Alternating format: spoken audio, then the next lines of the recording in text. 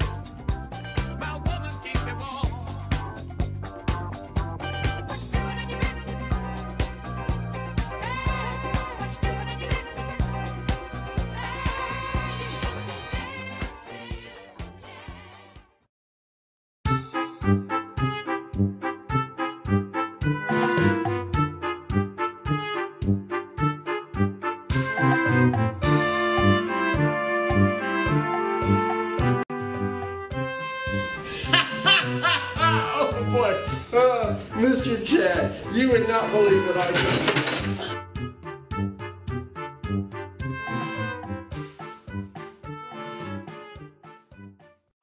Heroes of the Bible Jonah. This is Jonah. Jonah was a prophet. That means it was his job to tell people what God told him to say. Yep. One day, God told Jonah to go to Nineveh because the people of Nineveh were doing bad things. Uh, But instead, Jonah ran away where are you, please? and went to the port to board a ship going the other way. He was hoping to get away from God. Oh, Lord. He sailed for a place called Tarshish. While he was at sea, God sent a great and powerful wind over the sea that caused a storm that seemed like it would break the ship apart. Fearing for their lives, the sailors tried everything they could think of to save the ship. Meanwhile, Jonah was sound asleep. So the captain went down and said, How can you sleep at a time like this? Get up and pray to your God. Maybe he will help us. Then the crew figured out that Jonah was the reason for the storm, Uh, uh-oh. and they asked him, Who are you? Why is this happening to us? Jonah told them who he was and that he worshiped the one true God who made the sea. Then he told the sailors to throw him in the sea so the storm would stop. No, why? The sailors still tried to escape the storm, but it was no use. Uh, So they asked God for forgiveness and threw Jonah into the sea. The storm stopped at once. whoa. The sailors were amazed at God's power and they vowed to serve him. Now God sent a great fish to swallow Jonah, Uh, great. and Jonah was inside the fish for three days and nights.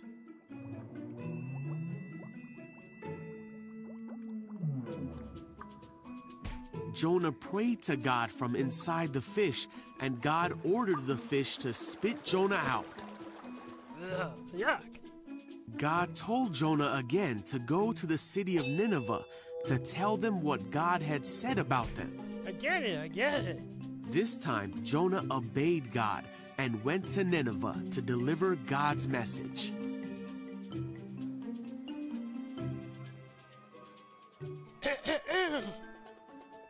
People of Nineveh stopped doing bad things and turned to God. They were saved because they listened to the message that God had given Jonah.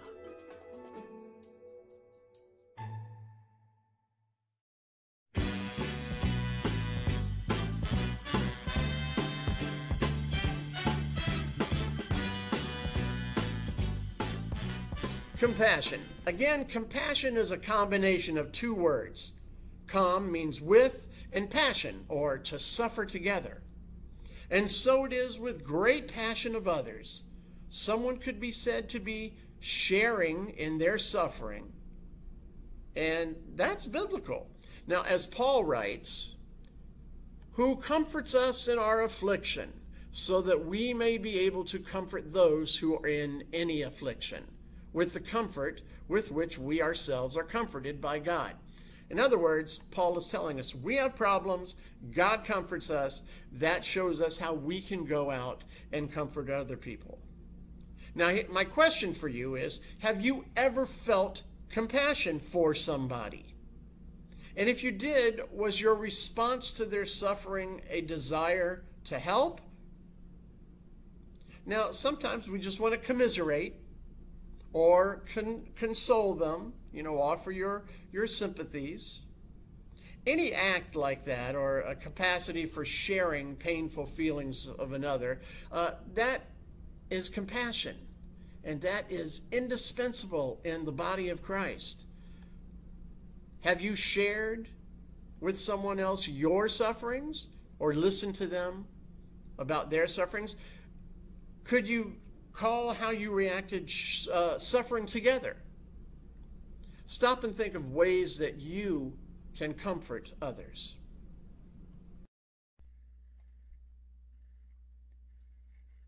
Make yourself comfortable in your seat and close your eyes. Take in a deep breath and begin to relax. I'd like you to imagine that you are in a rainforest.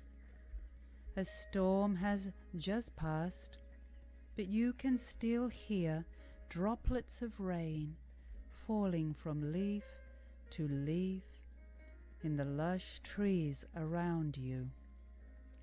It's a lovely day now. As you gaze up, the sky has cleared, the clouds have gone, and it's beautiful blue sky again.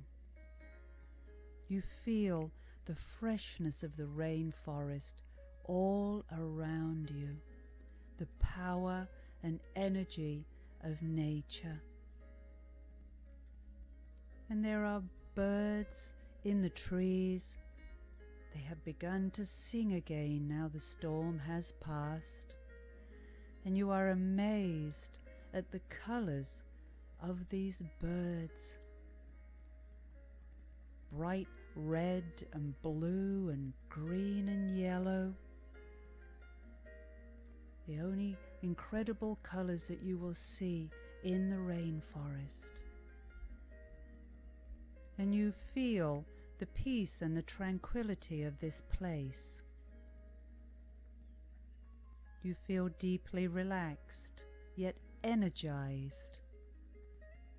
You hear the little creatures in the grass around you as they begin to stir. Now the storm has passed, and the forest is lush and green and vibrant, and you feel light and free in this place. So light, like a feather on the breeze on a lovely day.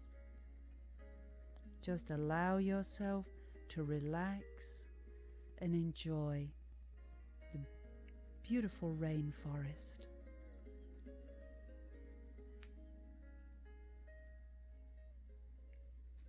When you are ready, please take a deep breath and stretch in whatever way feels good for you right now. You are energized and confident, relaxed and free, free to enjoy a beautiful, wonderful day.